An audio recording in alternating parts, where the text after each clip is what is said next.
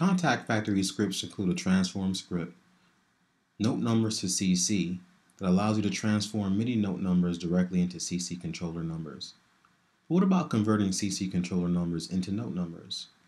There isn't a factory script to do that, but today's your lucky day. In today's advanced video tutorial, we'll create a Kontakt script that allows you to convert MIDI control change to note numbers. And never miss a tutorial by subscribing to our YouTube channel at youtube.com slash adsrtuts. So here I have an instrument that has all zones covered across the entire grid.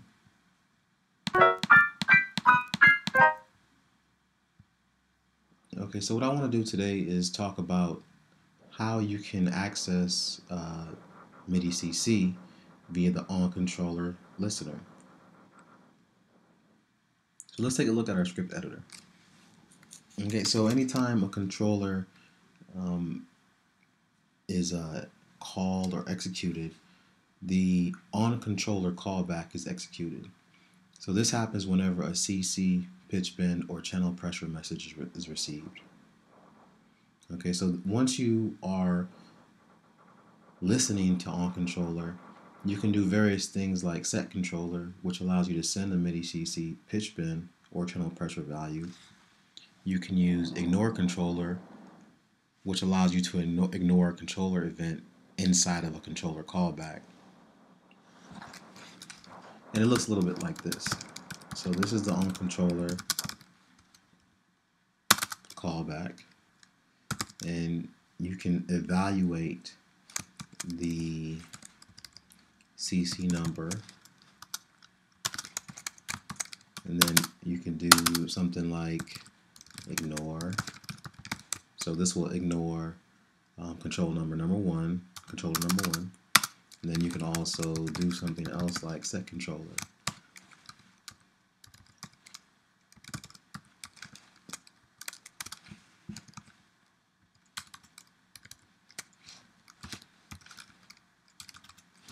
Okay, so what I did here was uh,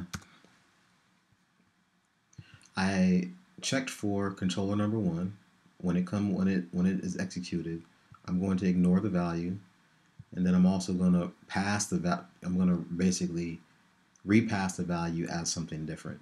So I'm ignoring controller number one here, and then I'm I'm also executing a MIDI command um, this is VCC Mono Aftertouch. We'll talk about that a little later. It's a MIDI command or a virtual MIDI controller, and I'm going to pass in the value of the MIDI controller number one that came number one that came in. So basically, CC number one came in. I said ignore it, but then I also want to take the value and repass it to a different virtual MIDI controller. So these are some of the things that you can do with um, the on controller callback. Okay, so let's take a look at some of the, the built-in variables um, of the controller. So first you have CC and then controller number. Okay, so what this does is this allows you to get the current controller value for the specified controller. So just keep in keep in mind that we use percent %cc here. Okay, so what I'm saying here is I want to get the value of controller number 12. Okay, so I can do something like current value equals CC12. So this current value will be set to the current value of CC12. Okay, one interesting note that I, that I realized is when you touch the MIDI controller, when you touch your controller, like just for instance, we have pitch bend and modulate. If I just touch it, without actually changing the value, this will actually return back 0 or 1. And that's a, a built-in variable called CC touch. And we'll, we'll talk about that quickly in a, in a second. But just, I, I found that interesting because nowhere in the reference guide does it specify that if you um, don't change the value that it'll return CC touch. But I'll actually show you that in a second when we talk about CC Touch. Okay, so that's the value. The next thing that you can get is you can actually get the you can evaluate which CC controller number was triggered. Okay, you you do that with CC number. Okay, so you can say um, what controller, for instance. Right, so if I do this, um, this will actually equal the controller number. So, in our, keeping with our example, 12, if 12 is what triggered the, the callback, um, what controller will equals 12. Okay, and you can actually even do something like this. You can actually replace the 12 with that. You can actually do that. That's a that's a legal command. Okay, and then um, another one that we have access to is percent %cc touch. Now, what this will do is um, you pass in the controller number. So I can just say controller number here. And what this will do is this will return one if the specified controller value has changed and zero if otherwise. So what it looks like happens is when you touch the controller, the callback actually is executed. And then this is this fires, so this returns zero or one. And let's write a um, quick, uh, so just so you can see this in action. Okay, so if I say um, message percent cc dollar sign cc number. Let me get rid of all this.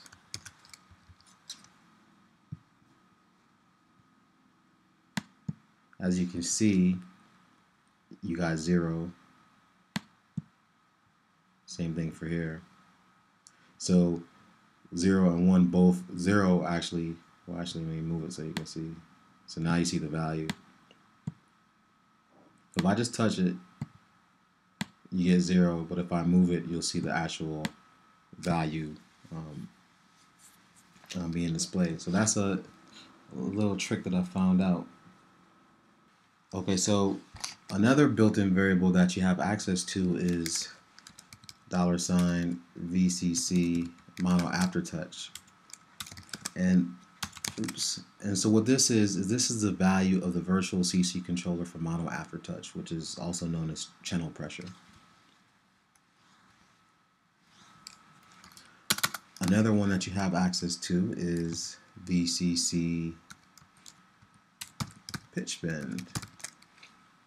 And this is the value of the virtual CC controller for pitch bend. So let's just use pitch bend as an example.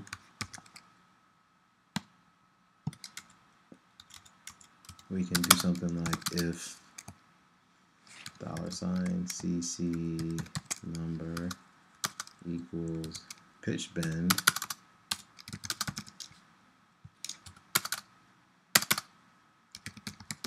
message pitch bend. Oops.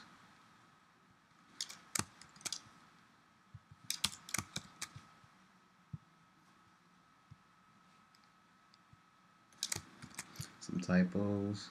All right, there we go. All right, so this is this is a built-in variable for pitch bend. Okay. All right, so let's uh, script a little bit and see how we can um, convert some MIDI CCs um, to various things.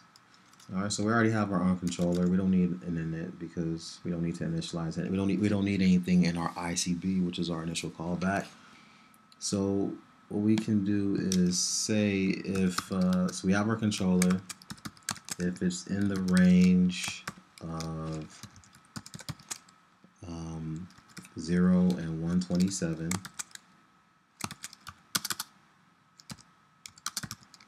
Let's write a message. So I'm going to write the CC number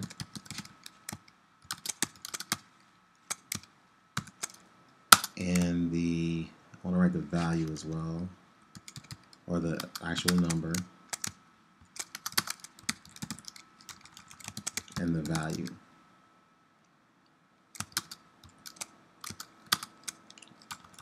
Oops. So to remember to get the value, I have to use the percent, percent %cc. So percent %cc, and then I need to pass in a controller number, and I could just use the placeholder, the variable for CC number. Okay. All right. So that's for um, a generic CC. I also want to be able to capture if it's pitch bend as well. All right, so if it's the dollar sign CC num equals the CC pitch bend. All right, so that means if the controller is is the pitch bend instead of a, a outside controller number,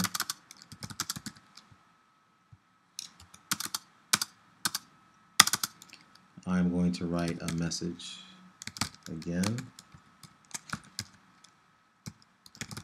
Pitch bend. And the text value. And I'm going to use percent CC and dollar sign CC number. Oops. Make sure I don't have any typos. Message. All right, so if it is pitch bend, you'll see pitch bend and the value. And if it's something else, you'll see the CC number and the value. Okay, so that's nice and dandy. So how can we get it to play some notes? Okay, so the first thing that we need to do is we now we do need an ICB and on init, which is ICB, because we need a placeholder to hold the ID of the note that we played. Okay, so we'll do that by adding a note ID. Okay, so just declare um, declare I'm gonna call it note ID. Okay, so then what you want to do is um, let's see. I, I don't have a MIDI controller plugged in right now, so what I'm going to do is I'm going to use a pitch bend. So I'm going to say that if um, let's just take this. I can use this. I'm going to just replace this.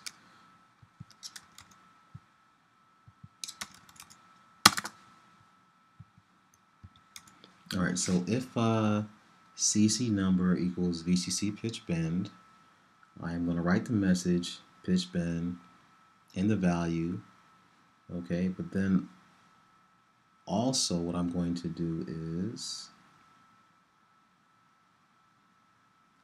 I want to check to see if it's uh, the value is 8191. So I'm going to use um, percent %cc. I'm going to copy VCC pitch bend. So if that equals 80, 8191, I'm going to set the note ID equals to a play command. So play note, I'm just going to say note 60.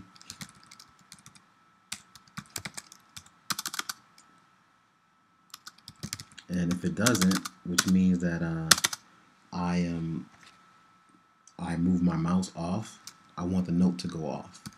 So I'm going to issue a note off command and I'm going to say note off note ID. All right.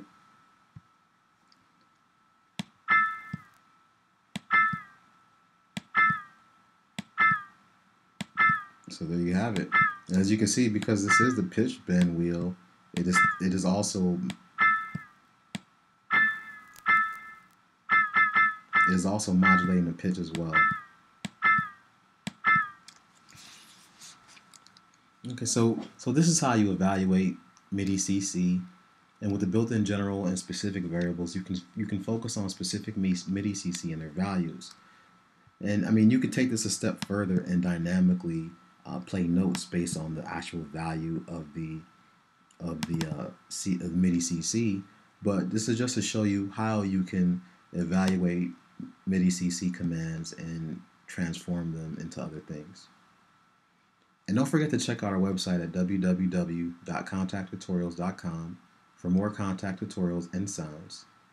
ADSR Kontakt tutorials supercharge your Kontakt skills. This is DJ Nice signing off until next time. I go make some music.